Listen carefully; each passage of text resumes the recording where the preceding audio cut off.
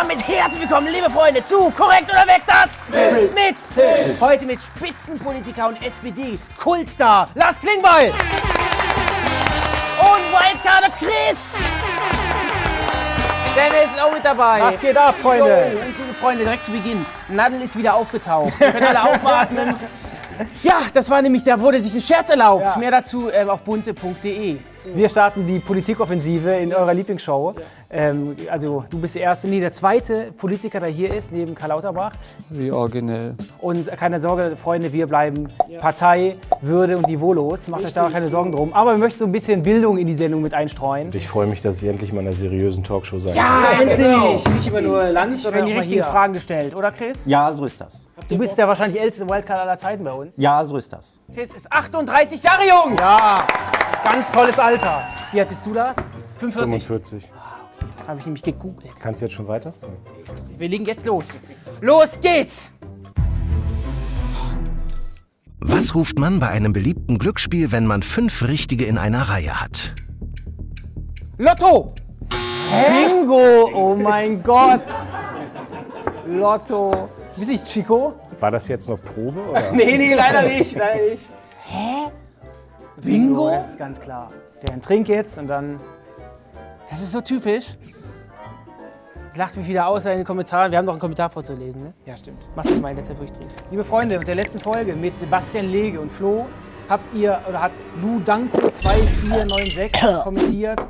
Ladet mal bitte Lord of the Lost ein. Das ist, sind die diesjährigen ESC-Teilnehmer für Deutschland. Ich bin noch lost. Guckst du ESC? Nein. Jemals mal gemacht?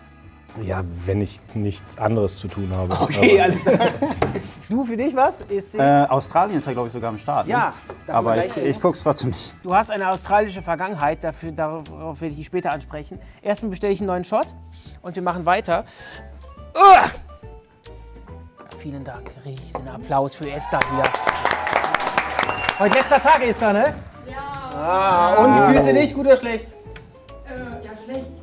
Alles klar. Sie muss. Sie muss. Sie muss gehen, sie muss zum Bund. Ja, so ist das.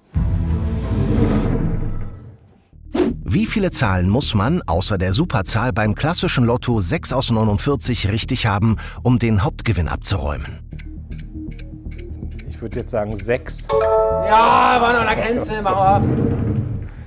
Welche Karte ist beim Pokern die höchste? Ass. Was ist das höchste Ergebnis, das man beim Würfeln mit zwei sechsseitigen Würfeln bekommen kann? Zwölf. Ja, 6 plus 6. Wie nennt man das antike Belagerungsgerät, das in der Mitte einen schwingenden Baumstamm hat, mit dem zum Beispiel Türen von Festungen aufgestoßen wurden? Rumsbums. Ja, ja. mein Gott! Wie heißt das nochmal? Rambock! Rumsbums. Aber Rumsbums finde ich gut. Ist nah Das ist meine Biografie übrigens. Och Mann, ich will nicht rausfliegen. Lars, du bist Vorsitzender der SPD gemeinsam mit Saskia Esken. Und ähm, denkst du manchmal, ich möchte das allein machen? Oder bist du ganz froh, dass sich die Arbeit aufteilt auf zwei? Nee, das funktioniert schon zu zweit. Was ist was Neues. Ich mache andere Politikbereiche als sie. Mm, Sie macht, äh, sie macht Innenpolitik, Bildungspolitik, ich mache Außen- und Wirtschaftspolitik. Äh, natürlich gibt es auch mal Stress, aber eigentlich kriegen wir das immer ganz gut hin. Hast du jetzt schon getrunken? Ich habe dir jetzt gerade schon ja, in mich hineingekippt. Ähm,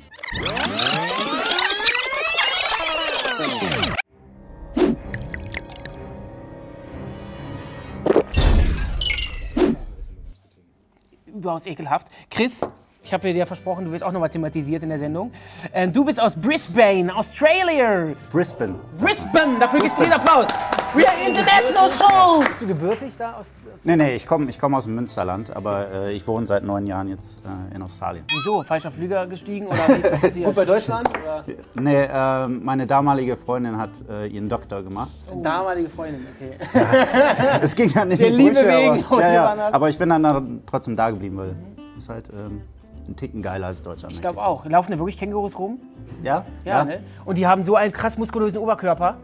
Also die boxen ja auch richtig, die machen ja auch so, ne? Da gibt es verschiedene. Da gibt es so große, die heißen, glaube ich, Red Kangaroos. Die werden bis zu zwei Meter und Oh. das sind diese muskulösen. Ja, die, ja, habe ich nämlich ne? gegoogelt.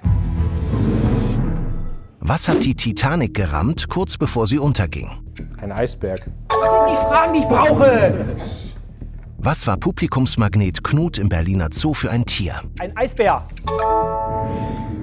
Leben Eisbären am Südpol oder am Nordpol? Am Nordpol. Ich wollte erst Südpol sagen. Wie heißen diese Bands oder Künstler mit vollständigem Namen? Annenmai, Kantereit. Die Rolling, Stones. Apache, 207. Tokio. Hotel. Mit welchem borstigen Gegenstand kann man Dreck auf dem Boden zusammenfegen? Besen. Boah, ich wollte Zahnbürste sagen. Kannst du auch. Geht auch. Genau.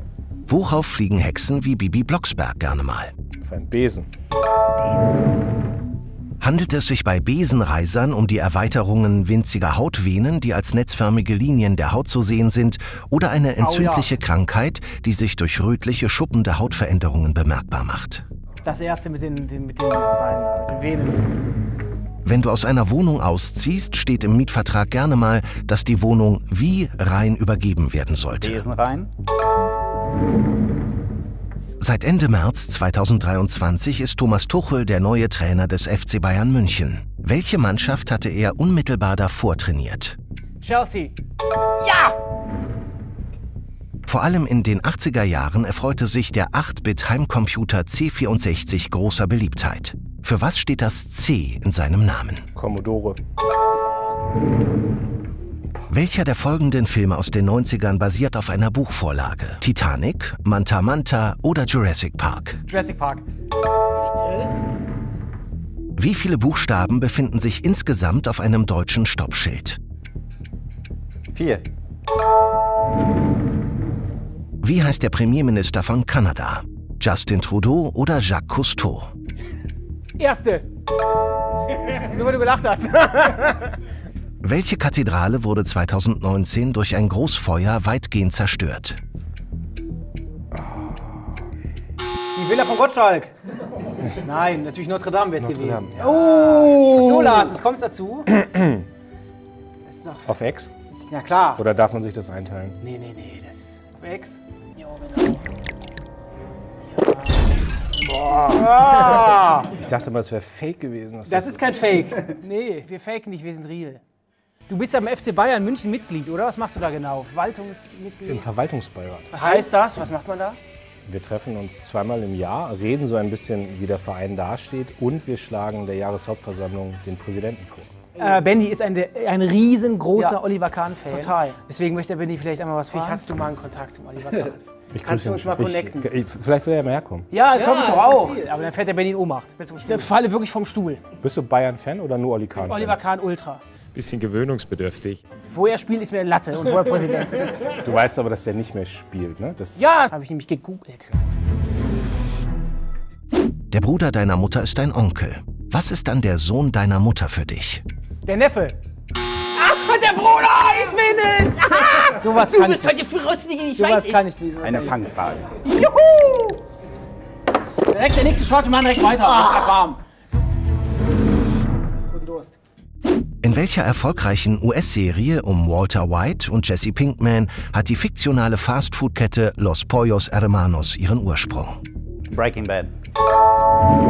Die Camper. In welcher Stadt, die auch oft Teil seines Namens ist, soll Jesus aufgewachsen sein? Nazareth. Wie lange dauert die Amtszeit der Richter am obersten Gerichtshof der USA? eigentlich bis zum Lebensende. Wie geht dieses legendäre Fußballer-Zitat von Andreas Möller korrekt weiter? Egal ob Mailand oder Madrid, Hauptsache. Italien. Sagen falsch? Wie heißt die Sportart, in der es die Begriffe Campertrick, 7 Meter und Kreis gibt? Handball. Wie oft müsste man die Freiheitsstatue übereinander stapeln, bis der Turm aus Statuen höher ist als der Eiffelturm? Viermal oder sechsmal? Viermal. Ja! Ist ausgerechnet, ne? Wie nennt man in der Chemie die ohne äußere Einwirkung eintretende gegenseitige Durchdringung von Gasen, Flüssigkeiten oder Lösungen durch Eigenbewegung der Moleküle? Zentrifugalkraft oder Diffusion? Die Fusion. Hast du gewusst natürlich. Chemieleistungskurs. Welcher Planet hat den größeren Durchmesser? Die Erde oder der Saturn? Äh, der Saturn, ganz klar. Zufall? Das weiß er. Wie heißt der südöstlichste US-Bundesstaat, der auf der einen Seite an den Atlantik und auf der anderen Seite an den Golf von Mexiko grenzt? Hawaii? Das ist natürlich vollkommen falsch. Bitte. Ist natürlich Was ist es? Texas. Texas. Ah, natürlich. Kann man wissen. Florida. Florida. Auf euch, Jungs. Hey Junge, das weiß man. Das schmeckt lecker. Eieiei. Ich habe noch ein paar Fakten über dich. Ja, hau raus. So, du wurdest mal von Casper verletzt. Ja, Dem Rap-Künstler Casper an dieser Stelle ja viele der, Grüße. der mich tief enttäuscht. Fan des Formats. Erzähl mal ganz kurz, was hat er gemacht? Ähm, also ich war äh, Reporter für ein ähm, Lokalfernsehen und äh, musste ähm, einen Bericht machen vom Spack-Festival. Ich hatte ein äh, Interview, Headliner, oder? ein Interview, äh, Interviewtermin ausgemacht mit Casper und eine halbe Stunde vorher rief mich der Manager an und sagte, ja, sorry, Casper ist krank, der kann nicht und so. So und dann ähm, Tag später äh, bei der Konkurrenz von, äh, von, von einem Zeitungsformat, äh, die auch ein äh, Videointerview gemacht haben, äh, hat er den Interview gegeben. Ja, ey Benjamin, was ist denn los bei dir? Wie heißt die Hauptstadt von Florida? Tallahassee oder Miami? Miami! Nein! Don't get me wrong. Nein! Ich mache in. Zukunft nicht mehr mit. Ich mach Kamera, ich mach Ton, ist mir egal. Benjamin, was ist denn los bei dir? Hat er nicht gesagt, er will gewinnen heute. Ja, lecker, lecker, schmecker. Du hast doch noch extra was ausgedruckt hier. Willst du nicht Ja. präsentieren? Hast du mir dazu eine Moderation geschrieben? Nee. Lars, du warst ähm, der erste gepierste ähm, Politiker im Bundestag. Dafür noch einen riesen Applaus hier für dieses Bild. Die Frage ist, wo ist das Piercing? Wo ist das Piercing hin? Wieso ist es entfernt worden? Ich bin 2005 im Bundestag gekommen mit Piercing und bin nur auf dieses Piercing reduziert worden. Okay. Und äh, also Tattoo-Magazine, Piercing-Magazine, die Bild-Zeitung, alle haben mich nur gefragt, warum hast du ein Piercing? Wie ist es Keiner, keiner hat gefragt, wie denkst du da oder dazu inhaltlich. Und dann bin ich nach zehn Monaten wieder raus aus dem Parlament, da gab es diese Neuwahlen. Ähm, und dann habe ich gesagt, ich nehme das Piercing jetzt raus und wenn ich nochmal wieder in den Bundestag komme, dann lasse ich mich nicht auf irgendwelche Äußerlichkeiten oder mein Alter reduzieren. Ich habe das immer noch irgendwo rumliegen zu Hause, so als Erinnerung, aber es war dann noch okay, das rauszunehmen. Und es gibt ja auch ganz viele ähm, ähm, Menschen da draußen, die sagen, die würde so ein Vollbart total gut stehen. Das ging so von Tommy Schmidt. Dafür mal einen riesen Applaus für diesen Vollbart hier. Das wirkt, das, das schmückt Also dich. ich soll dir von Tommy Schmidt sagen, bitte mal wachsen lassen. Warum nicht? Ich ist das denn frage. möglich bei dir? Hast du so ein Bart? Natürlich, ich sehe doch den, den Bartschatten. Ja, oder? Klar. Finde ich toll. Aber also, das war, äh, nachdem Tommy das losgetreten hat, die Welle, äh, war bei mir richtig was los auf Instagram. Ja, das glaube ich. Und, äh, und ich habe niemanden getroffen, außer meiner Frau, der das nicht wollte mit dem Vollbart. Aber, aber nee, irgendwann mal. Irgendwann. mal ja. Ja, liebe Freunde, ich bin leider raus. Ähm, ich habe sowieso gerade Termin. Äh, ich muss jetzt ganz schnell nach Tallahassee und ein paar Sachen gerade rücken. Danke, dass ich hier sein durfte und dass ihr mich weiter so supportet. Euer Benny. Ciao. Neuer Shot, wir sind noch im Game. Welche Stadt in Florida ist der Titelgeber für einen Song von Rapper Will Smith? Miami. Willkommen zu Miami, and the is yummy, yummy. Deutsche, deutscher Hip-Hop. Ja, genau. Das schmeckt lecker. Schön grün. Das Sinnbild der Koalition, was hier gerade passiert. Viel Rot, wenig Grün. Und, grün und Grün ist jetzt weg. Ja, so. Ganz viel Schwarz um uns herum. So, und ein braunes Jackett hier zu meiner Rechten. Also, Chris, Hey! dahin! Das ist Satire! An welches Meer grenzt Florida nochmal neben dem Golf von Mexiko? Pazifik! Das Rote Meer! Atlantik! Eine, eine Spaßfrage mit dem Meer ist ja eigentlich gar nicht mehr im Titel. Weiter. Boah, Alter! Boah. Schmeckt ihr nicht? ja. Weiter! Alter. Wie heißt ein Kartenspiel, dessen Name gleichzeitig auch das spanische und italienische Wort für eins ist? Uno. Ich war ein deutscher Theologe, der im 16. Jahrhundert lebte und die protestantische Reformation auslöste. Wie war mein Name? Luther. Ich war ein deutscher Politiker und regierte das Land von 1949 bis 1963 und gelte als eine der wichtigsten politischen Persönlichkeiten der deutschen Nachkriegsgeschichte. Wer bin ich? Ach, ja. Weißt du, Helmut Schmidt das nicht? Nee, der. Konrad Adenauer! Nein. Doch, oder? Ja! Der Conny. Mir solche politischen Fragen im Beisein eines Politikers zu stellen. Stell dir vor, ich jetzt nicht gewusst. Nicht so bloßzustellen. Du hast ja, dein Politikeralltag ist natürlich auch sehr abwechslungsreich. Ähm, Wie beginnt dein typischer Alltag von dir? Ein ganz normaler Tag. Es fängt eigentlich in der Regel immer zwischen 7 und 7.30 Uhr an. Und ich habe häufig morgens irgendwie Telefonschalten, zum Beispiel mit dem Bundeskanzler, wo wir uns absprechen. Dann geht es mal in den Bundestag, dann geht es mal in die Parteizentrale, dann geht es mal in den Wahlkreis oder nach Köln. Ähm, aber es gibt, ich würde sagen, es sind nie zwei Tage hintereinander gleich. Und was machst du so neben dem. Auf was ich mache, beruflich? Ja, ja. Ja, ich bin äh, Media Producer. What's your Alltag? Was machst du den ganzen Tag? Ähm, also ich mache viel äh, Videoschnitt, ähm, Fotos teilweise. Ich mache Typesetting von Büchern. Ja. Solche Dinge. Stark. Du hast ein tolles Gastgeschenk dabei, Ja, Chris. Da möchte ich gut, dass mal, du's erwähnst. möchte ich jetzt mal drauf äh, zurückkommen. Was hast du uns denn mitgebracht? Känguru-Klöten-Flaschenöffner. Ist das echt? Ja, Das sind echte Klöten? ja. Spüre ich ein paar Parallelen. Lars auch mal. Ja, ist schön weich. Ja, damit kann man sich doch schön den Weißwein öffnen. Ah, nee, die sind nicht so. Den, Ba- Ja, genau, den aus der Flasche. Ja, mega. Eins der besten Geschenke. Ich frage jetzt nicht, wie es dem Känguru geht. Ne? ja, möchte ich auch nicht wissen.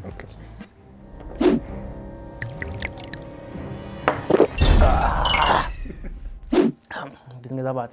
Liebe Freunde, ich bin jetzt erstmal raus. Ähm, äh, wünsche euch aber noch einen tollen Tag und bleibt so, wie ihr seid. Und die wichtigsten Infos über mich gibt es weiterhin auf dennis-wolter-entertainer-comedian.de.tl. Ciao. Und damit stehen Lars und Chris im großen Finale und die beiden spielen jetzt entweder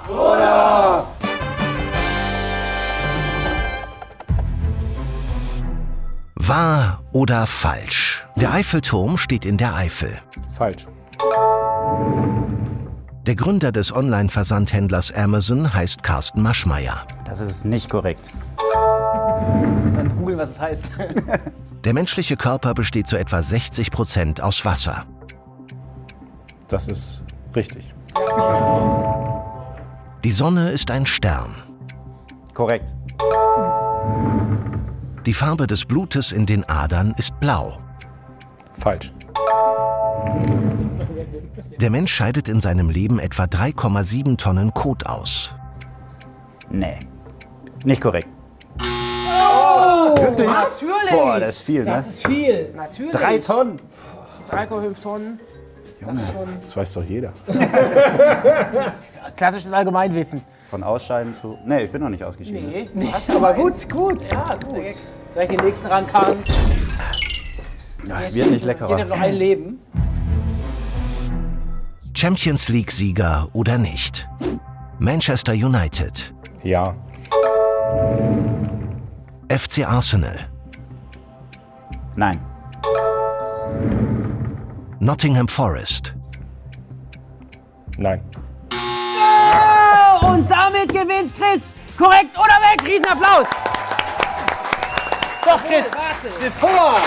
Auch einen Nachtrag. Diese Champions League gibt es ja, diese Kampagne gibt es ja so in den 90ern erst, da werden andere Leute jetzt sagen, sind die Landesmeister, der Pokalsieger.